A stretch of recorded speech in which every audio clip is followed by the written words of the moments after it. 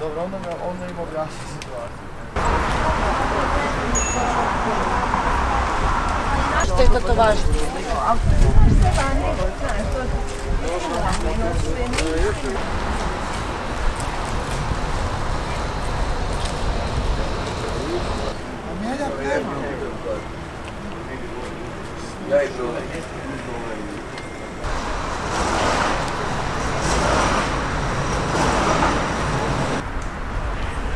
Dobro ya.